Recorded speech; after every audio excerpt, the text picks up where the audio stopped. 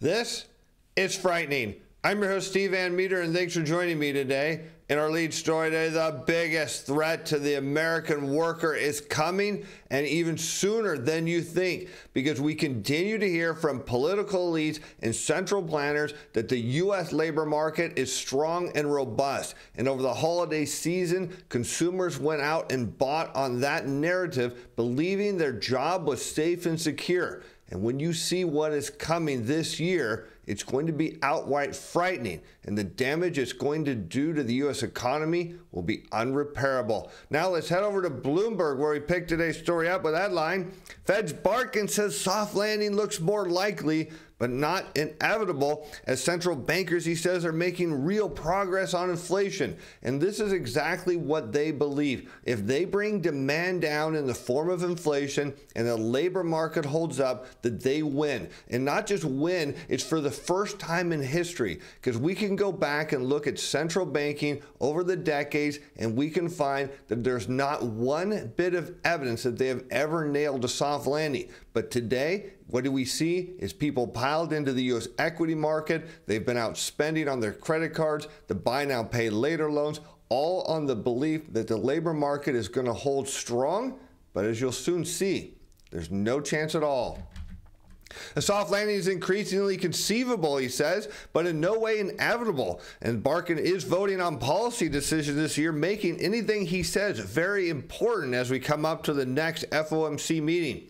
Demand, employment, and inflation all surged, he said, but now seem to be on a path back to normal, which is true. The problem is what he doesn't realize is that normal employment, unemployment is actually higher than its current level. In fact, if it continues to go up, it's going to have a damaging effect on the U.S. economy, one that will send us deep into a recession. Embarking to find a soft landing as inflation returning to normal levels while the economy stays healthy. Notably, he doesn't decide what healthy is. He leaves that up to interpretation. As he said, inflation is coming into the range of our 2% target. And six month core inflation, which excludes food and energy prices, is running slightly below target. And of course, what we know they mean by a healthy economy is one that you don't lose your job, or at least, well, not that many people lose their job. The problem, as we get into what happened in the news today, you're going to see that the worst case scenario for the U.S. worker is indeed coming this year. And while Barkin acknowledged that most officials are expecting cuts in 2024, he said that conviction on both questions of inflation continuing its descent and the broader economy's performance will, quote, determine the pace and timing of any changes in rates. Of course, what we have noted on the show, inflation is indeed coming down because demand is coming down. And of course, there's absolutely no correlation to the federal funds rate and the consumer price index, despite what the central elites want us to believe in the end of the day, they're going to be lowering rates and not just once or twice like they think they are. Once the path down starts, it's going to accelerate in a big way, as you'll see, on its way to zero. The Richmond Fed president laid out several risks for the economy this year in his remarks at the Raleigh Chamber, North Carolina, including how a recent plunge in long term interest rates could stimulate too much demand and keep inflation elevated. And many of you ask and make comments and say, Steve, these people are the experts. They are the central bankers. They know everything. And yet you continue to say that they are completely clueless. Well, I want you to see. Let's go back and look at what he says. I want to provide you the evidence. He said a recent plunge in long term interest rates could stimulate too much demand and keep inflation elevated. And what he's suggesting here is that as rates go down, people are going to consume even more. But there's one easy way to prove that this isn't true at all because Barkin doesn't understand that a decline in long term interest rates means growth and inflation expectations are headed down. It doesn't mean it's stimulus to the economy.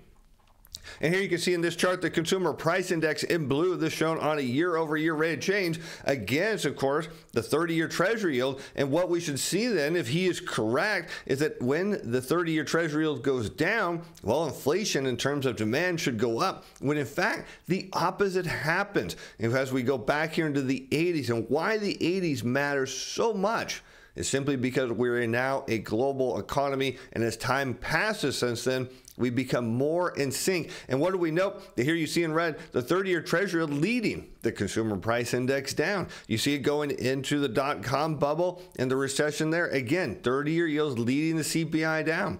How about the global financial crisis? Once again, inflation did surge a little bit on the backs of oil prices, but the bond market said no way, and sure enough, led inflation lower. You see that in 2014 going into 2016 as we were facing a global synchronized recession. How about heading into the pandemic? You got it. The rates were falling well ahead above of that and inflation. And today, again, they see the view here is that it leads to a stimulative effect when in fact it does not because they don't understand what drive rates. They don't understand the monetary system because when you constrain the creation of credit in our system, you start to pull back the reins of growth. And that's only part of the issue because when you have a lot of debt in a debt based system, well, you need money to pay on it. In fact, you need money created by new debt to pay on the old debt. And what happens when you invert the yield and money curves is rates come down because the monetary, monetary system starts to fracture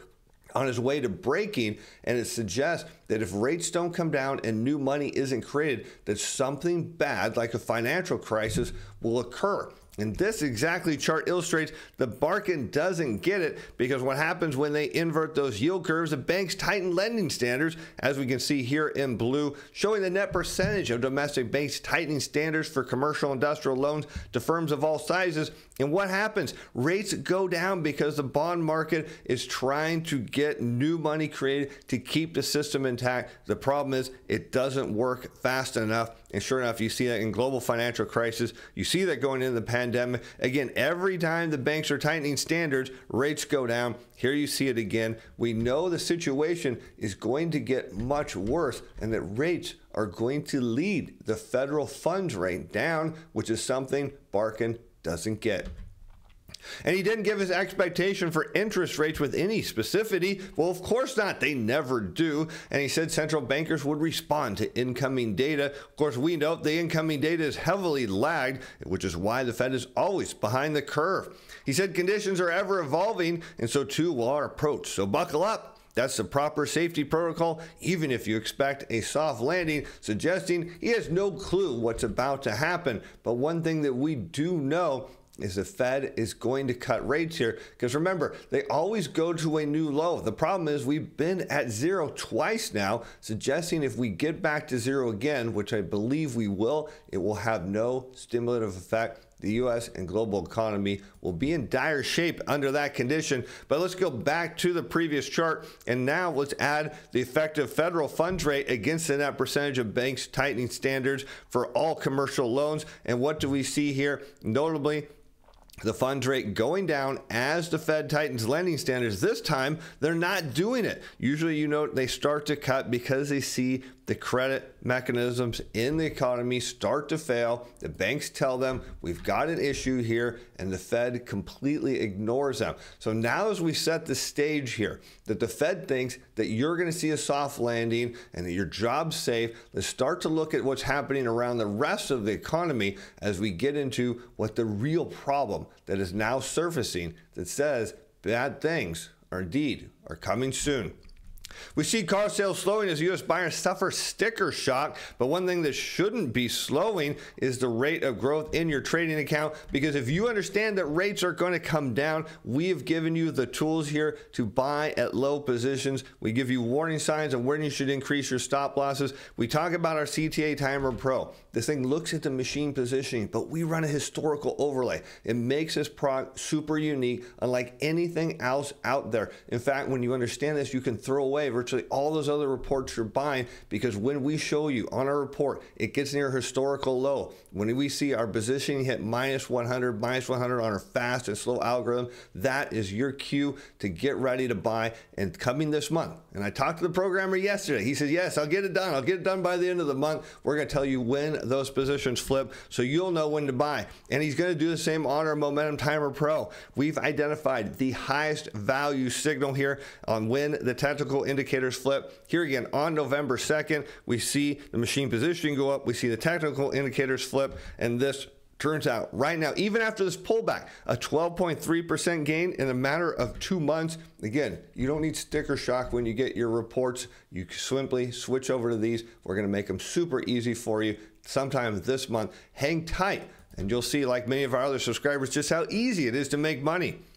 We've seen a big reduction in medium and lower income households buying cars, which now almost exclusively go to the top 20% income households. And the way you should understand this when we read this is they're saying, look, there's a money shortage here in the lower and now moving into the middle income households. This is exactly what happens when you see credit creation mechanism get constrained by the banks. It starts at the bottom and filters up. So, yes, for the moment, the rich still can afford cars. They usually continue to do that even during a recession. But it's a question now is at what point does the wave of credit mechanism fall through the middle class and put them in a position where they can't afford anything?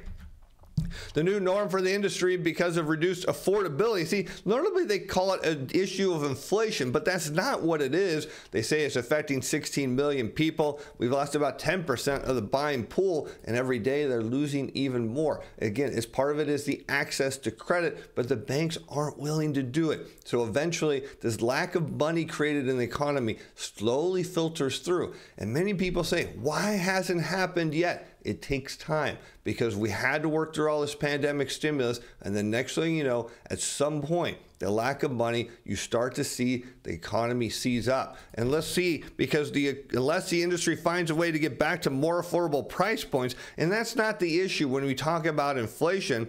We will see products that cater to higher income, higher credit quality consumers because it's who the banks will lend to. And that ultimately limits sales volume. But the reality of the story is it's not an issue of its inflation. The issue is back to wages because we all know that if inflation goes up, but wage growth is going at a faster rate, it's not an issue of affordability. The problem now is they're saying, look, prices are too high. People can't afford them. We need to get prices down. But as many of you have said in the comments, no, the issue is wages. I'm not getting paid enough to keep up with inflation. And you're absolutely right. We see that here as we look at the consumer price index in blue against total compensation. This is average hourly earnings multiplied by average weekly hours of production and non supervisory employees. That showed in red, both on a year over year rate of change.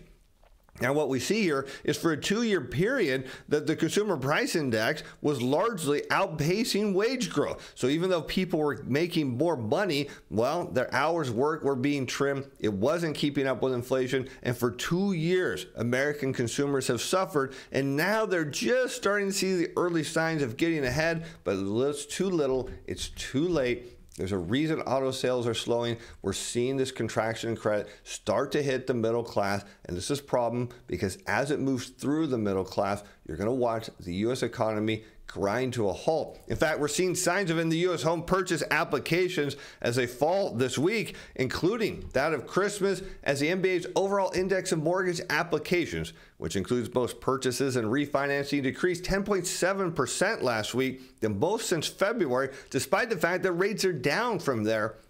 And even though rates have fallen almost 8% in October and helped stabilize housing demand, a sustained decline in borrowing costs to much lower levels is probably needed to put the housing market on a better trajectory. Again, we're searching for answers here, and that's the problem. Is you know, when you read these articles, people don't understand what it means to contract the creation of credit in the economy. Lower rates are telling us that growth and inflation expectations are indeed headed lower. So you're seeing signs now. The central bankers still think the soft landing is possible. The auto market in trouble. Housing market in trouble. And what does all this mean? Well, it comes to the manufacturing sector sector.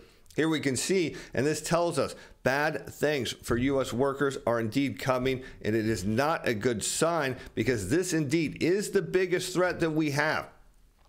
As manufacturing PMI, this from, of course, at now 47.4, again, from the ISM, which is considered the gold standard of reports. There is no official PMI report by the government. 47.4 means contraction over the prior month as we continue to see new orders and backlogs go down. And that's not a good sign because what do we note in the past? When backlogs and new orders decline, what happens? You have workers standing around. At some point, the bosses start to say is, Why are they on the payroll? And then it's time for them to go.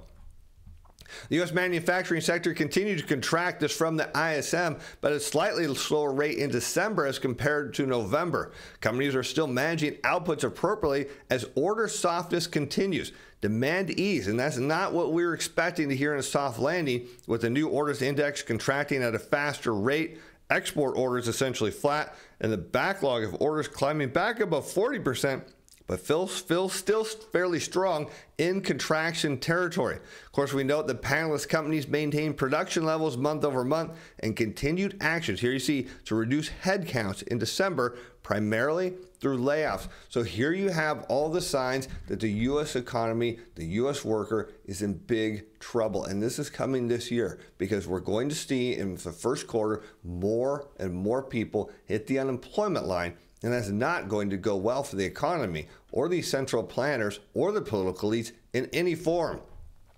And here we can see the employment series in December, now in contract, uh, contracting again for the third straight month. This at 48.1, suggesting that the employment levels from the manufacturing sector, which we'll get, of course, an update on the non-farm payroll report on Friday, this is indicating more layoffs in the manufacturing sector. New orders contracting now for the 16th straight month, and the backlog of orders contracting for the 15th straight month. The only question becomes now at one point do we run out of backlogs and the new orders are insufficient to keep pace with the level of employment? And this is interesting because we talk about, of course, Barkin at the Richmond Fed. Well, how about this? If he would looked over to his neighbor at Philadelphia, what we see is a current new orders index shown in blue against a four-week moving average of initial claims. And what we can note is when new order demand declines, that means more people hit the unemployment line. This happens over and over again. It's just like clockwork.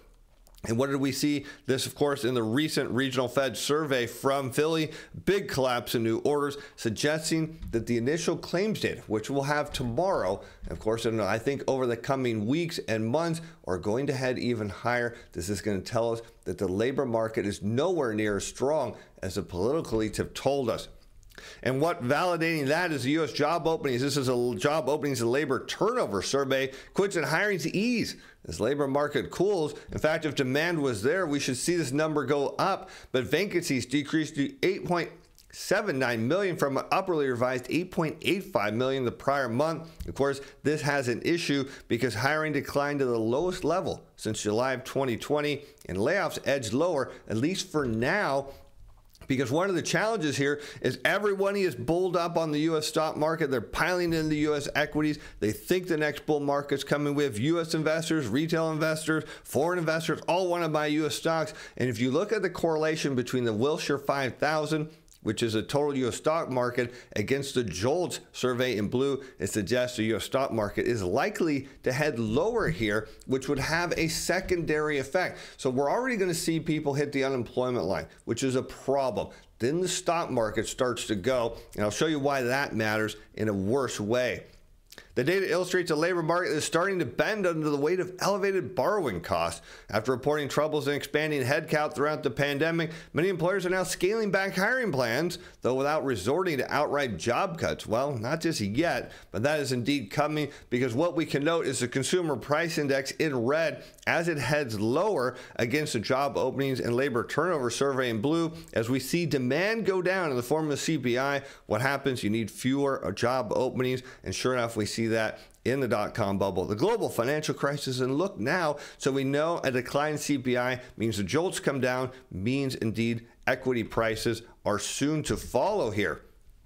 And of course, what that means is if equity prices come down as we come back to the Wilshire 5000 price index in red, now overlaid against advanced retail sales in blue, this shown on a year over year rate change. And this means not even the rich can keep the economy going. What happens is as the equity market goes down, the wealth effect goes away. Next thing you know, retail sales continue to fall. We know when that happens, more layoffs hit the retail sector. In fact, we're already hearing evidence from retailers that the holiday season was below expectations. That's not a good sign. It means more people are going to hit the unemployment line. The problem is getting over there, well, that's not good either.